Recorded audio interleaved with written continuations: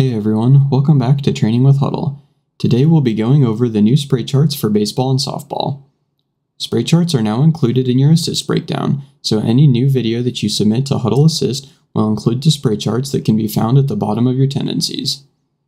By scrolling down, we'll see that we can filter by hit type and also have an interactive graphic that show the hit location.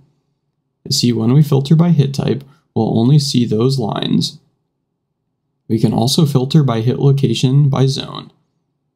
We can click on any zone to see those specific hits and can also see how that affects our hit type. This is a great tool for analyzing specific athletes' at-bats to see where they're hitting the ball.